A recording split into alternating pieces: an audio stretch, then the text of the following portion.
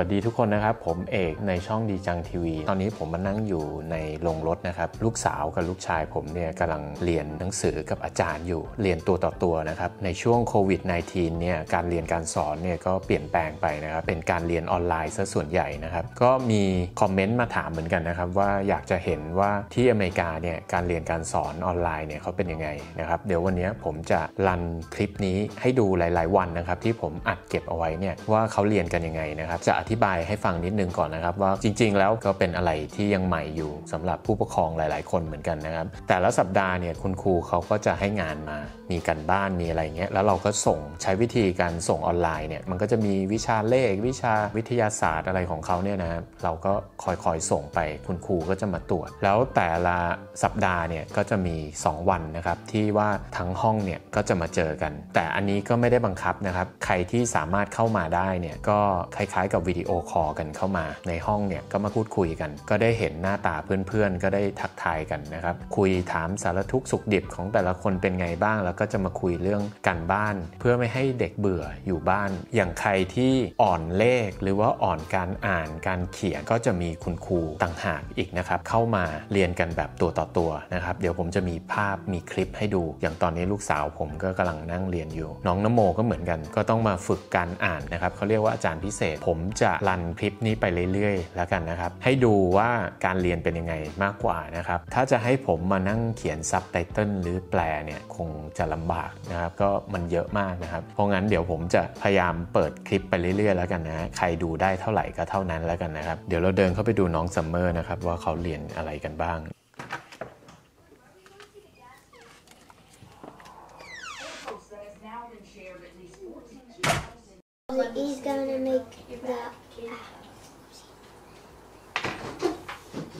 She scratched you, Kim said. Grandma's arm. Grandma looked down at her arm. I guess, but she didn't mean to scratch, just a tiny scratch. I was screaming so hard I didn't feel a thing. Was a very good scream. They were like making stuff for each other. She made like the thing on her back, like the red, um, the red part, and then she put like black circles on it. Tree animals live alone, except when except when they are raising young to avoid close competing competing with uh, their own so mates mates. or territory so what do you think they mean when they say a solitary animal It's a- alone. right yeah someone who who lives on their own some animals like to be on their own right so solitary animals live alone except when they're raising their young and what do you think their young means Like babies. Yeah, so when they're raising their children. And they do that to avoid competing with other animals like them for mates, like a husband, um, or territory, meaning the area that they live in. Are you and Summer close? Do you do things together? Um, would you say your relationship with her is different than a neighbor? Yeah. Yeah, you're closer to her, right?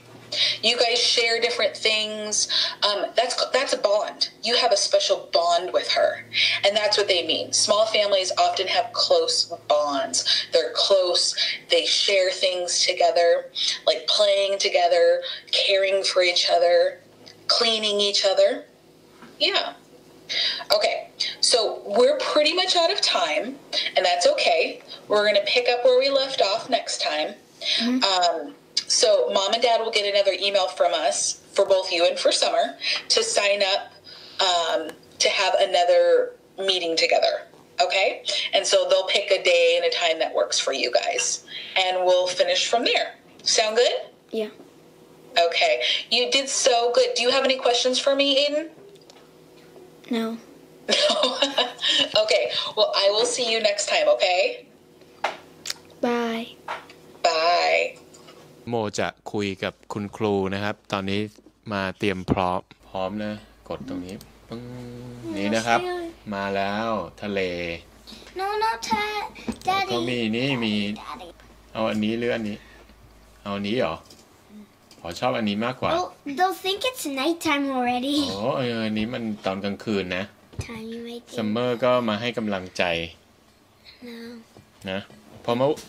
ซัมเมอร์ผ่านไปแล้วเมื่อวานวันนี้ของน้ำโม วันนี้เนี่ยเป็นการเรียนวันสุดท้ายแล้วนะครับ แล้วก็เขาก็เลยมาเล่นทายกันนะครับเขาให้เอารูปนักเรียนแต่ละคนนะครับ ตอนที่เป็นเด็กๆมา All right, here's our next baby. นี่ถึงน้ำโม This baby is shy but very funny, and this baby loves to eat. Me too. Who is this baby? Yes, don't blurt it out if you know. Who do you think this baby is? This adorable little chef. นี่นะครับ อันนี้นะเป็นรูปน้ำโมนะครับ All right, if you are this baby, please unmute yourself. It's me. It's Aiden. Look at him. He's so cute. Aiden, why were you dressed up as a chef? Were you going to chef school? I took a So picture as a chef for my food truck.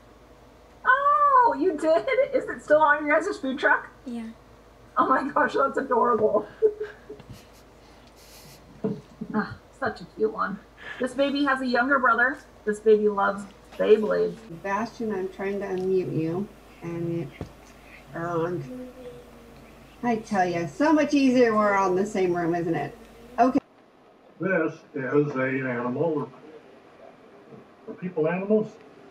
Oh, okay, well, let's just go on. What does a person need if they're riding a bike? Should have to stay warm and so on. Well, how does that actually work? Let's let's click, again. Um, we also need oxygen. Breathe in oxygen, and they breathe out carbon dioxide. And then I don't care. We go to the next slide. You know, the, the key thing. Everybody has some oxygen, and we breathe out some carbon dioxide over and over and over again. Even when you're sleeping, you're breathing. Your body is using the lungs. Let's go to the next slide. It doesn't make any difference whether you're a, well, a fox or a bear riding a bike, or actually, let's go to the next slide again. Oxygen and carbon dioxide, even a bee riding. I don't know if ride bikes. Anyway, every animal on Earth does the same thing. For breakfast. I want to walk right over here. We've got a rhododendron with some bloom. and I think I keep the animal over here. Right here, we have some beans growing. I planted some uh, beans here about two weeks ago. And they're just starting to come up. And these are cold beans. You can see one is just beginning to emerge right there. คุณครูคนนี้นะฮะกำลังโชว์บ้านตัวเองนะกำลังพาเดินทัวร์บ้านตัวเองให้ดูว่า ปลูกต้นไม้อะไรบ้างนะครับ เขาปลูกอะไรไว้บ้าง รอบๆบบ้าน มีสวนดอกไม้มีปลูกผัก เมื่อกี้เราก็ได้โชว์การกินผักสปินิชนะครับผักที่ป๊อปอายกินนะ คุณครูกำลังโชว์ให้ดูแล้วก็กินสดๆเลย นะครับ That's the tour of my garden. อันนี้ก็คือคุณครูสอนวิทยาศาสตร์ เหมาะเหมาะมากนะฮะที่จะสอนวิทยาศาสตร์ เพราะแกนี่ก็เป็นคนแบบ Pretty soon they're gonna โหรักธรรมชาตินะครับ แล้วก็อยู่กับธรรมชาติด้วย find raspberry. แล้วก็ก่อนหน้านี้ก็ได้สอนเรื่องระบบอากาศไปนะครับ การ Just gobbling อ up. อกซิเจนคาร์บอนไดออกไซด์อะไรต่าง ๆ นะครับ ก็คุณครูเก่งมากเลยครูคน All นี้ these raspberries. I'm gonna head อันนี้ back ก็เป็น inside. คุณครูวิทยาศาสตร์เป็นไงบ้าง ตอนนี้ก็เป็นการเปิดให้นักเรียนถามคำถามได้ excuse me, Mrs. Fox, Avery's mother, will be monitoring the chat room. Usually, uh, gardeners start their vegetable garden uh, in the in early spring. Now, when the ground is all wet and muddy, it's pretty hard to work the ground. But Everybody. So you can, can you wave to your friends? Say, see you Friday. บ๊ายบาย All right. Have a great day, everybody. Bye, guys. Now you can go. All right. Bye. ครับ แล้ววันนี้เนี่ยถึงเวลาที่เราจะต้องเอาอุปกรณ์การเรียนการสอนที่เราไปยืมมาคราวที่แล้ว ถ้าใครได้ดูคลิปตอนเรียนออนไลน์เนี่ยช่วงโควิดใหม่ๆนะครับวันนี้ต้องเอาของไปคืนสัปดาห์นี้เป็นสัปดาห์สุดท้ายแล้วของการเรียน และหลังจากนี้ก็จะปิดเทอมอีก 2 เดือนนะครับ ไหนซัมเมอร์มีอุ้ยอุ้ยอุ๊ยอุ๊ยลมพอดีเลยมาอะ มามาช่วยถือก่อน Don't เอายืนขึ้นมา You too. โอเค โอ้โห จังหวะพอดีเลย นี่ เอา วันนี้เอาอะไรไปคืนบ้างไหน ให้คุณผู้ชมดูนิดหนึ่ง มีหนังสือ มีคอมพิวเตอร์ของนโมก็เหมือนกัน นี่นะครับ วันนี้ต้องเอาทุกอย่างใส่ในถุงซิปล็อก ตอนนี้หมดภาคเรียนแล้วนะครับ ทุกคนก็ต้องเอาไปคืน ในช่วงที่เรียนออนไลน์เนี่ย น้องนโมกับซัมเมอร์ก็ได้รางวัลอะไรนะ Self Direct Learner ผมก็ไม่รู้หรอกคืออะไร Direct learner. อ๋อนะครับ เป็นรางวัล Self Direct Learner นี่คือสามารถควบคุมตัวเองนะครับ ให้เรียนออนไลน์ได้ มีการร่วมมือที่ดี แล้วก็เขาเรียกว่าอะไรอะความร่วมมือแล้วกันนะครับ ก็ได้รางวัลนี้มานะครับ เดือนหนึ่งทั้งคู่ได้มา ก็รางวัลเนี้ยผมก็ไม่รู้คืออะไร เพราะผมก็ไม่เคยได้นะครับ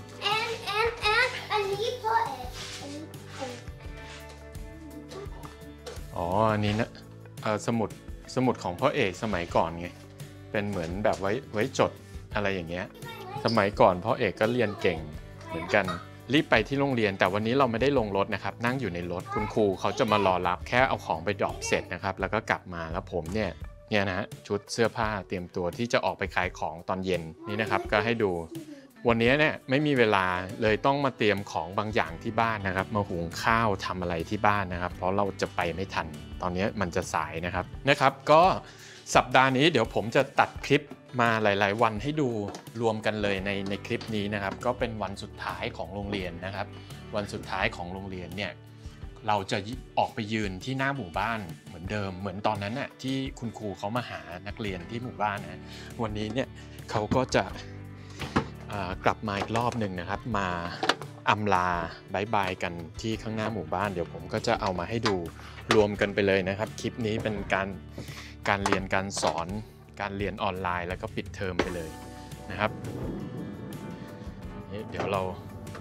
กลับมาถึงเราก็รีบออกไปขายของต่อเลย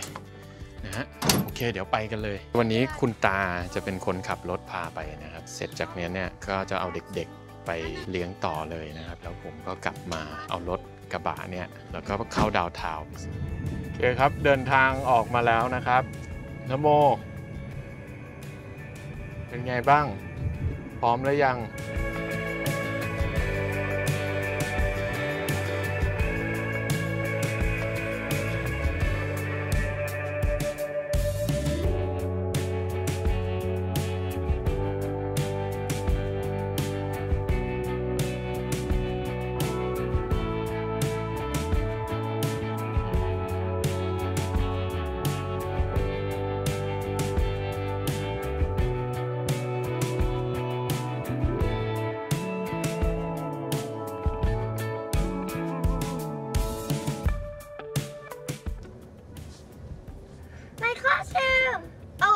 wait, that's not อ๋อ my นี่ classroom. นี่ห้องซัมเมอร์อยู่แถวไหน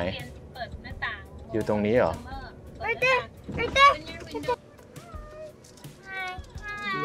Hi. โอเค Here, let's นี่ see. นะ We got two.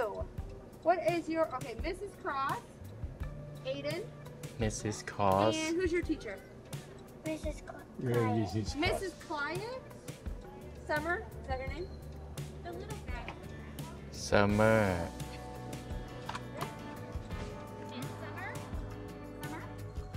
guys get the speech about the yearbook? Yep.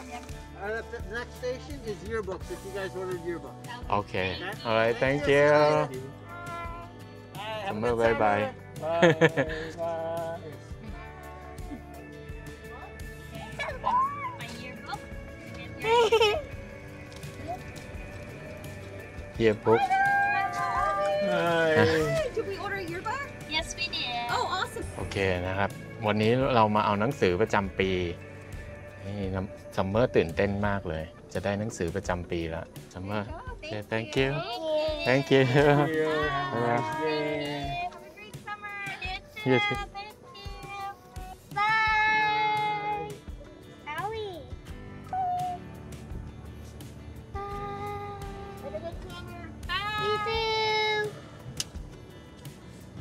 ได้เสื้อมา ได้หนังสือ yearbook มานะครับ นี่ It's done. Jump. เฮ้ยมีโดนัลด์ทรัมป์ด้วย Let me see.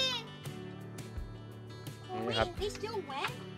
Oh wait, no. ไหนเพื่อนบ้านเราคนไหน This one. คนนี้นะ เพื่อนบ้านเรา Great. อยู่บ้านตรงข้ามกันเลยนะครับ อันนี้แต่ไม่ได้อยู่ห้องเดียวกันนะฮะคนละชั้น I'm the last one ไหน again. ไหนเดี๋ยว Last year I was the last one. เดี๋ยวเดี๋ยวยังไม่เห็น because you're last name ไหนขอดูหน่อย Mine อ๋อ is นี่นะฮะซัมเมอร์ซัมเมอร์ซับประเสริฐ Audrey. เป็นคนเอเชียนคนเดียวนี่ ในห้องอะ นี่ห้องน้ำโม ไหนน้ำโมอยู่ไหนชี้เอเดนนี่คือชื่อจริงเอเดนซับประเสริฐนี่ห้องน้ำโม I mean, Cece? Cece, Cece. Cece. วันนี้เพื่อนสนิทซัมเมอร์เหรอ โรงเรียนที่นี่นะครับจะบอกอีกอย่างหนึ่งที่ผมชอบมากข้อดีคือ ไม่รู้นะว่าที่อื่นเป็นยังไงนะครับในอเมริกาเนี่ยที่ผมต้องคอยถามอยู่อย่างเงี้ยเรื่อยๆเนี่ยเพราะบางทีเนี่ยบางอย่างอะเราอยู่ในอเมริกาก็จริงนะครับ แต่ว่าหลายอย่างเลยมันอาจจะไม่เหมือนกันก็ได้นะครับ บางเมืองบางรัฐเนี่ยอย่างยกตัวอย่างเรื่องเติมน้ำมันเนี่ยในอเมริกาเนี่ยเราก็นึกว่าเราต้องเป็นคนเติมน้ำมันเอง แต่จริง ๆ แล้วเนี่ยผมเคยไปรัฐอะไรนะ ถ้าจำไม่ผิดโอเลกอนหรืออะไรไม่รู้เดินลงไปเติมเนี่ยเสลอเลยนะครับตอนนั้นเนี่ยเพราะว่าเขามีคนเติมน้ำมันให้เนี่ยนะมันก็เป็นความแตกต่างที่ถึงอยู่ในอเมริกาแต่มันก็ไม่เหมือนกัน ไม่รู้เหมือนกันว่าเมืองอื่นเป็นงี้เปล่านะอย่างโรงเรียนที่ลูกผมไปเรียนเนี่ยมันดีอย่างหนึ่งไม่เหมือนเมืองไทย เพราะว่ามันไม่ไม่จัดอันดับที่นะครับไม่ใช่ว่าใครสอบได้ที่ 1 ที่ 2 ที่ 3 ทีสี่4 จนถึงเท่าไหร่ก็แล้วแต่เนี่ยอย่างเมืองไทยเนี่ยผมจำได้เลยว่าแบบเบื่อมากเลยที่ว่าเวลาไปเรียนหนังสือแล้วก็ต้องถามว่าเออปีนี้สอบได้ที่เท่าไหร่ เพราะเราก็เรียนไม่เก่งใครได้เลขตัวเดียวนี่ก็สุดยอดแล้ว แต่ที่เนี่ยผมชอบอย่างคือมันไม่จัดอันดับที่นะครับมันก็จะมีบางวิชาแค่นั้นนะครับที่จะมีเกรด อย่างเช่น วิชาการอ่าน วิชาเลขอย่างเงี้ยมันจะมีเกรดให้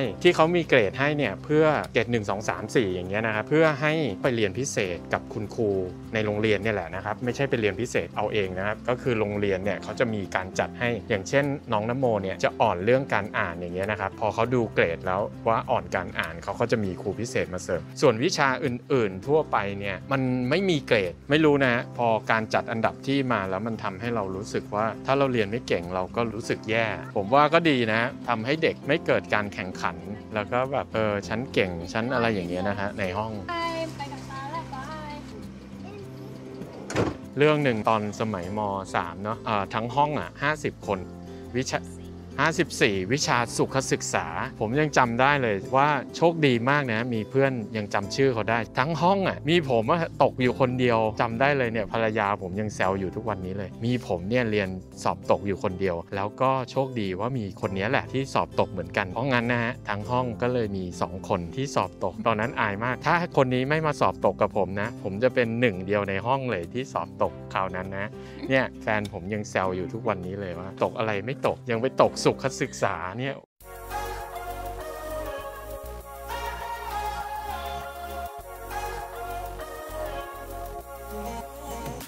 วันสุดท้ายของการเรียนนะครับ ก็เดี๋ยวผมพาทุกคนมาดูนะครับว่าคุณครูเขาจัดพาเลทมาอีกครั้งหนึ่งนะครับ วันนี้จะมาโบกมือบายบายกับลูกศิษย์นะครับ ทุกคนเนี่ยก็เหมือนคลิปคราวที่แล้วนะครับ ที่ว่า ผมเคยพามาดูแล้วตอนภาพประทับใจตอนนั้นนะครับที่ช่วงโควิดใหม่ๆอะก็ตอนนี้เรากำลังเดินออกมาหน้าหมู่บ้านนะครับ แล้วก็เด็กทุกคนวันนี้นะครับ ใส่เสื้อที่โรงเรียนให้มา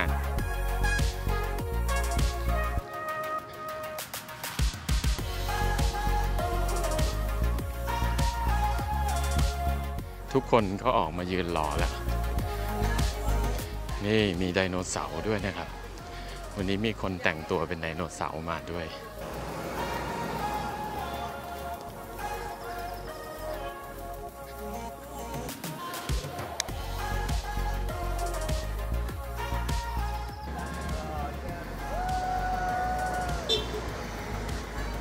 นะฮะคุณครูนะ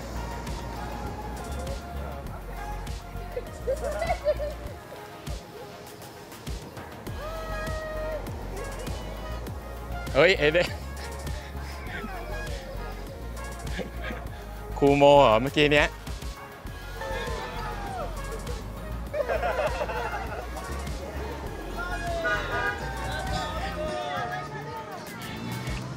นี่นะครับแล้วเขาก็เอารถโรงเรียนมาด้วย คนขับคนขับรถโรงเรียนก็มาด้วยนะ นี่นะครับรถโรงเรียน